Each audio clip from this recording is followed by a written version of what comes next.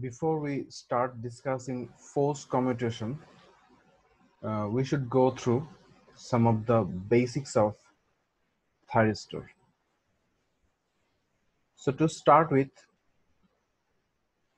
in order to turn on the thyristor from off state, we need to provide a positive anode to cathode current and which should be greater than latching current. And again, we have to provide a gate pulse since thyristor is a form of a bipolar transistor. It is a current control device. So we need to provide a gate current in order to turn this on. Uh, again, in case of a resistive load, VAK must be positive in order to get a positive IAK.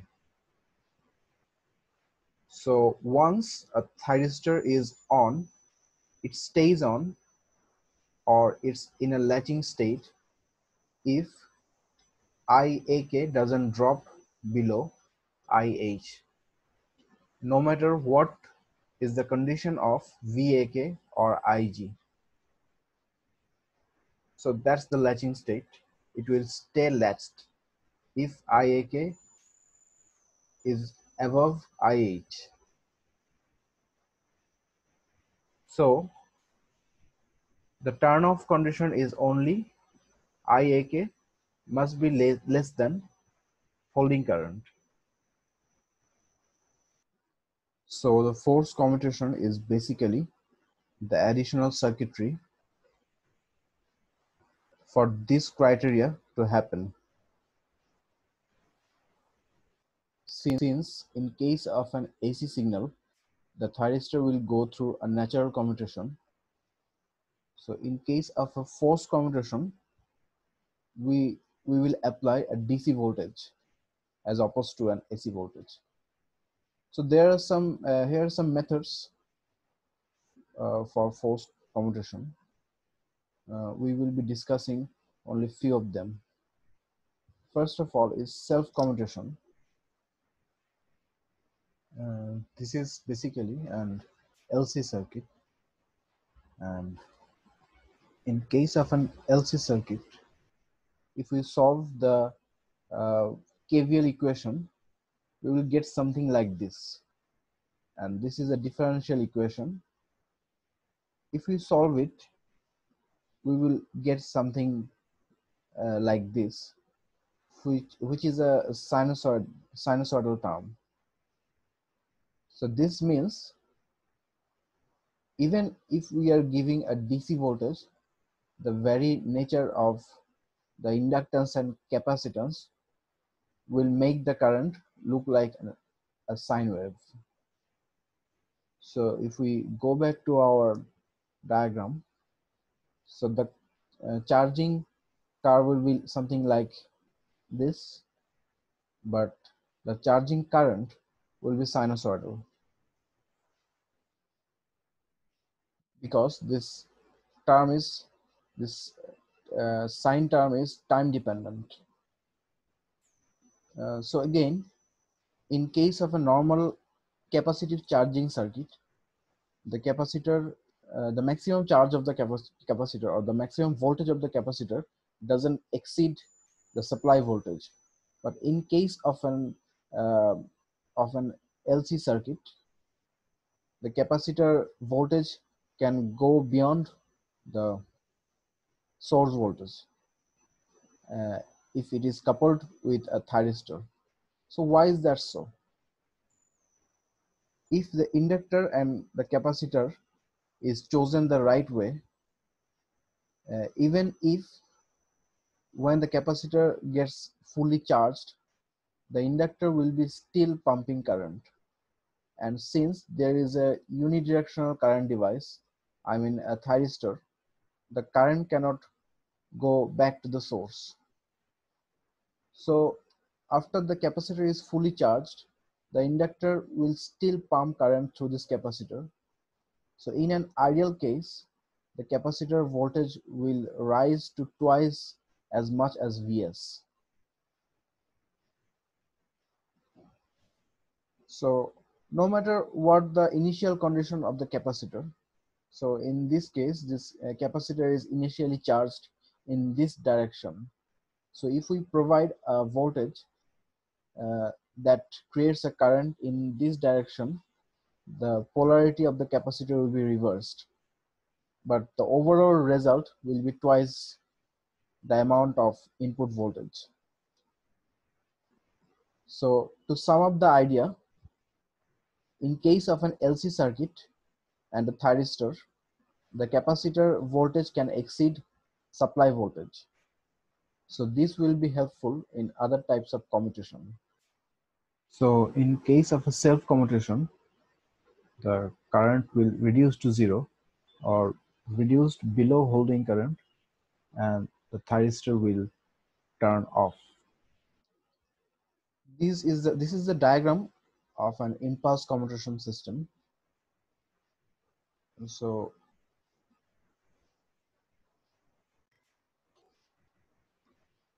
so if we open up this diagram, this is not in the book. I have edited this diagram uh, so that you can understand better.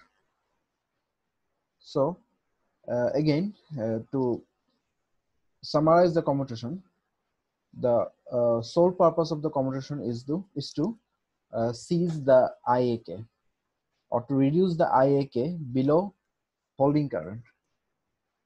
Uh, in case of a resistive load, we can do this by simply uh, reverse biasing the thyristor.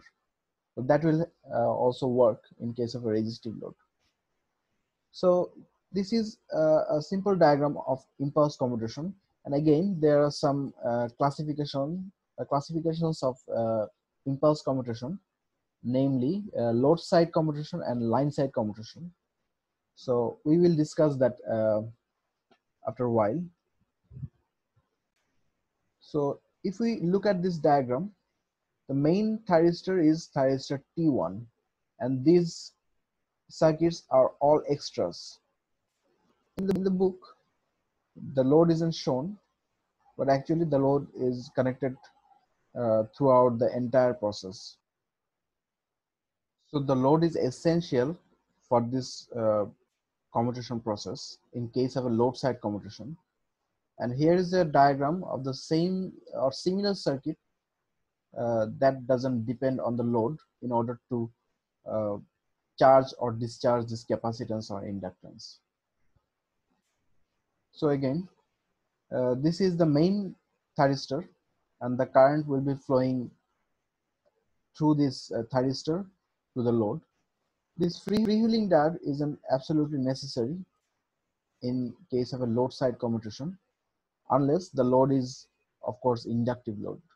But in case, case of a line side commutation, this freewheeling diode is necessary. So again, these are the breakdowns of this impulse commutated circuit. So the current, the main current is flowing through, through this uh, thyristor T1 uh, through this load and the circuit is complete. Uh, you can notice this T3 and T2 is disconnected and the capacitor is uh, initially charged like this. Note the polarity. So uh, in this condition, if we turn on the T2, what will happen? the plus terminal of the think the capacitor as a battery or a voltage source the positive polarity of the capacitor will be connected to the cathode of T1 since it is charged like this the positive polarity of capacitor will be connected to the cathode of T1 and the negative polarity or negative voltage of the capacitor will be connected to the anode. So the T1 will be forced to turn off due to this reverse bias. So the T1 uh, will be turned off and the thyristor T2 is now on and the current will be flowing from the source through the capacitor through T2 to the load and the circuit and the circuit will be completed. But what will happen to this capacitor? As the current is flowing through this direction, the capacitor will be uh, first discharged and then charged back in this opposite polarity. So when the capacitor is fully charged, the current through the capacitor will diminish and T2 will be turned off naturally because uh, as we have discussed, in order to turn off a thyristor, we need to seize the current or seize the current below uh, holding current. So in this stage, uh, all of the thyristors are turned off, but the capacitor voltage is reversed. Uh, if we go back to our first diagram, this is the initial condition to turn off the T1. So if we leave the capacitance or the voltage of the capacitor like this, the next time we start T1, there uh, there will be no way we can start this T2 because if even if we start the T2 this negative voltage will be connected to the cathode. Hence the T1 won't be turned off. So in order to T1 to turn off uh, we need the voltage of the capacitance to be polarized like this not that. So we have to do uh, some extra steps in order to reverse the polarity of the capacitor or the voltage of the capacitor. Now, if we turn on T3, then the capacitor will start discharging uh, through T3 and this inductor. Uh, note that the mains voltage or uh, the supply voltage has nothing to do with this step because the loop is self-sufficient the capacitor is charged and the thyristor is on.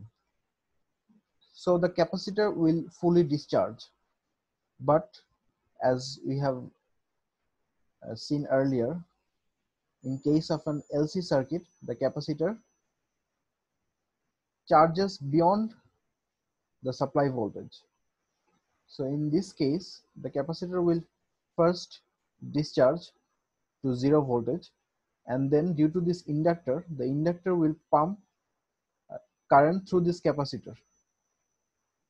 And the, as the flow of current is in this direction, the capacitor will be charged back to this polarity.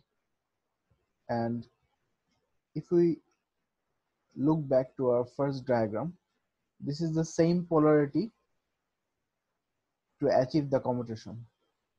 So this cycle repeats. So this is an impulse commutated circuit. So if we get back to the topic of line side and load side, in case of a line side or a load side, this charging of the auxiliary components are done through the load. So if we uh, recall the second step, the discharging and charging of capacitor is happening through the load. Hence the name load side commutated circuit. In case of a line side commutated circuit, we can rearrange the same circuit in such a way that the charging or discharging of this capacitance isn't happening through the load. So if we connect this portion directly to the negative side of the source voltage like in this case the charging of capacitor or discharging of the capacitor happens independently of the load. So whether the load is connected or not the auxiliary circuitry will be charged. So these are the differences between line side and load side commutation. You can learn more about the line side commutation from the book page 69 uh, in the soft copy of the book So if we go back to our main slide, another type of commutation is, or another technique of commutation is complementary commutation.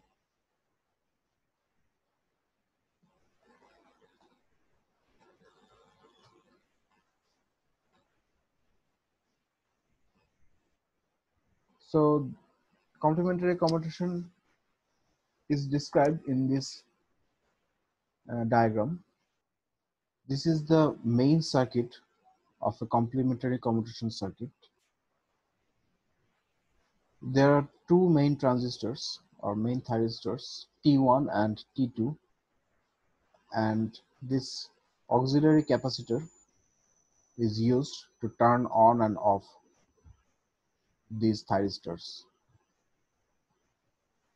So if we turn on T1 for the very first time, the current will flow through R1 and T1 and an auxiliary current will flow through R2 and this C which will be charged uh, in this polarity.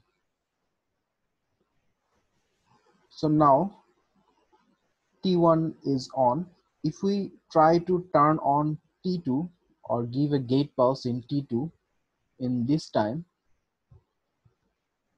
this plus terminal or this positive voltage will be connected through T2 to the cathode of T1 and the reverse voltage is already connected to the anode.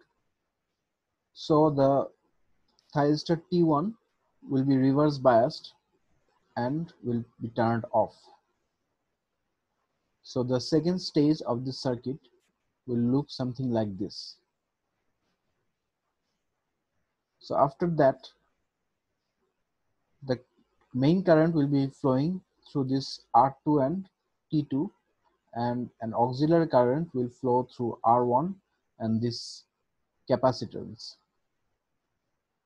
Since the flow of the current is reversed, the capacitor, uh, the voltage of the capacitor will be reversed. After the capacitor is fully charged, this link will be broken and the voltage of the capacitor will stay like this. Then if we again trigger T1, then this positive voltage or the positive polarity of the capacitor will be connected to the cathode of T2 by this T1. So that the T2 will be turned off and the cycle will repeat. Here is the diagram of what is happening. So if we first trigger T1, the capacitor will charge to a voltage since this is only an um, RC circuit, not LC circuit, the capacitor won't charge beyond this supply voltage. So the capacitor will be charged and stay like this and the current of the capacitor will diminish after the capacitor is fully charged. So this portion, in this portion T1 is on. So if we turn on T2, in this section the current will change the polarity or the capacitor current will change the polarity and so does the voltage. So first capacitor will discharge to zero and then it will get back the charge in the opposite polarity and the cycle will repeat. Since the load is divided by two resistance these types of circuits are not used in common applications. These are only used in oscillator circuits. If we get back to our main slide, so there are different types of thyristors, but we are only interested in some of these, namely GTO, its gate turn off thyristor. What are the advantages of gate turn off thyristor? It turns off if a negative pulse is provided in the gate. So it eliminates the need of a commutation circuit.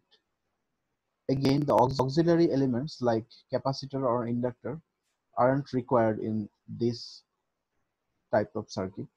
So how do we turn off a thyristor? If we get back to our two transistor model,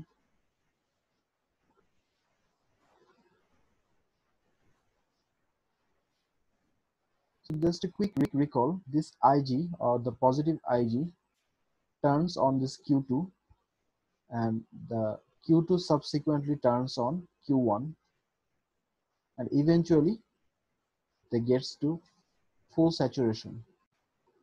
So this latching condition is governed by this IC1. Even if we detach IG, the IC1 is sufficient enough to drive the on state of these transistors. But if we provide a negative gate current, I mean, if we can drain this IC1 by this branch, this IC1 won't be able to turn on or keep the on state of this Q2. So this is the basic of a GTO. So in order to do so, we need to adjust the gain of this transistor in a very predictable way. So in case of a GTO,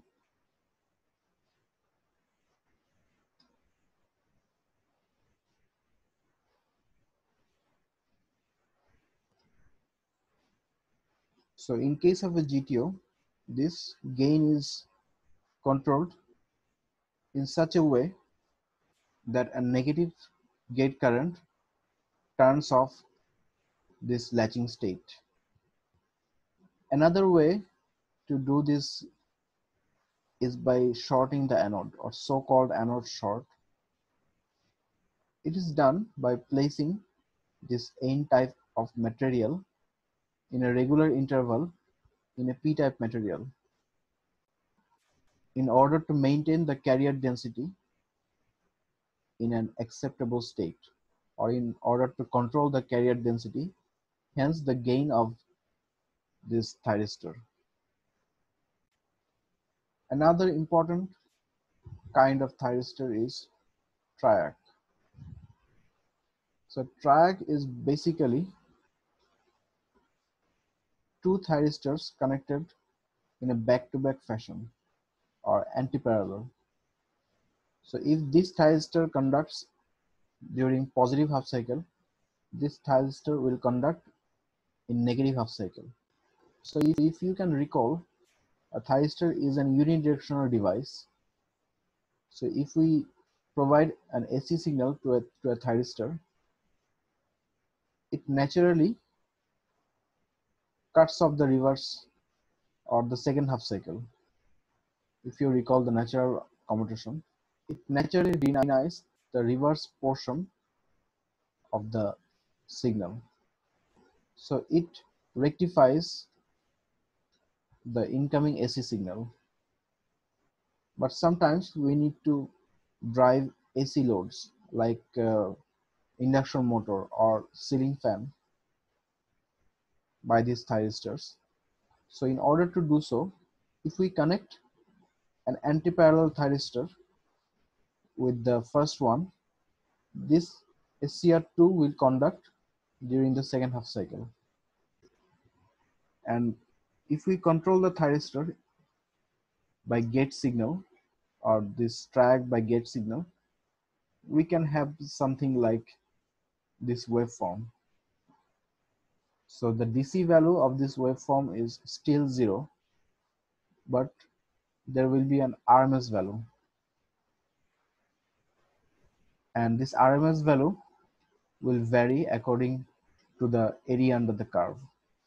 So if we shift the area, the value of RMS value will shift. And this, this very circuit is used in our uh, regulator circuit of the fan in our household. So we change the speed of the fan by varying this RMS voltage, by varying this gate pulse. So this is uh, the basic structure of a common triac. This can be set up in various ways, but this is a common structure.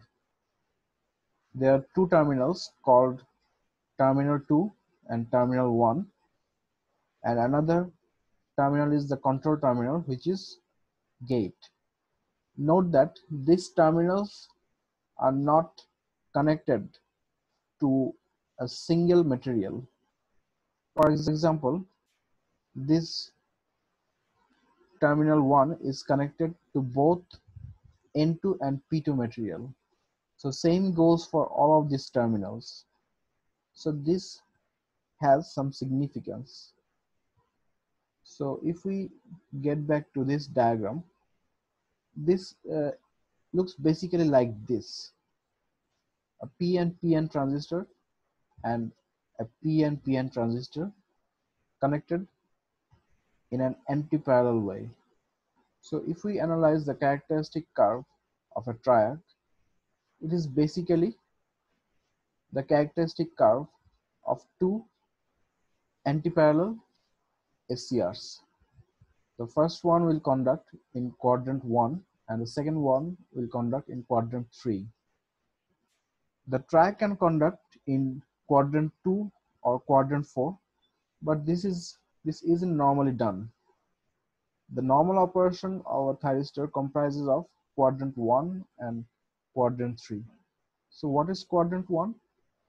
In quadrant 1, the MT2 is kept at a higher potential than MT1 and the gate is also positive. So if, if we analyze the structure in this case,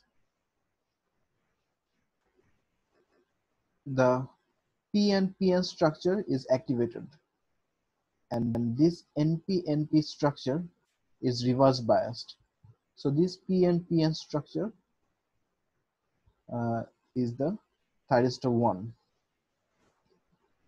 So how do we relate this PN-PN structure to this main structure? So in this case, this voltage is positive and this voltage is negative. So the PN-PN structure is PN-PN. This N-type material and this N-type material will do nothing in this quadrant 1. So this is the basic operation of a quadrant 1 triac. So if we provide a positive voltage in a PN PN structure and a positive current in this P region with respect to this N region, it will act like a normal thyristor and the current will flow through MT2 to MT1. In case of quadrant 3, the terminal 1 is at higher potential and both the gate and terminal 2 is at lower potential. So in this case, the path will be this PN PN. This PN PN. So in order to turn on the thyristor, we must understand the two transistor model. So in this two transistor model, if we short these two bases if we provide a gate pulse or a positive gate pulse, this will turn on this NPN transistor. If we provide a negative gate pulse, this will turn on this PNP transistor. So if we short this two bases, this structure will act like a triac. Because if, if you can recall, the NPN transistor turns on by providing majority carrier in this p-type material And in case of a PNP transistor, the, major, the majority carrier is electron. So this n-type material is this region. So if we provide electron or majority carrier for this region, this will turn on the entire process. But there is no direct connection to gate and this region. But since this gate terminal is connected to an n-type material, if we provide enough negative carriers or electrons, some of the electrons will pass right through this p-type material without recombining. And if this gap is close enough, this is uh, very likely to happen. So this is the quadrant three operation of a triac.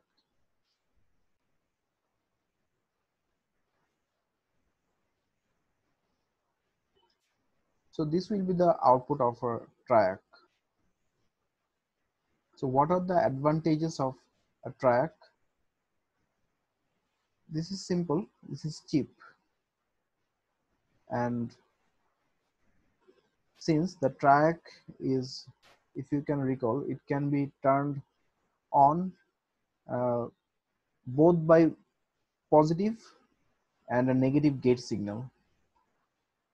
So controlling triac would be easy. So this is, uh, these are some of the advantages. And when it comes to disadvantages, sometimes this triggering can be tricky and needs careful consideration because it can be triggered by both positive or negative gate pulse. So this cheap device is used in our household application like uh, light dimmer circuit or uh, fan speed control circuit. So this ends our lecture on thyristor.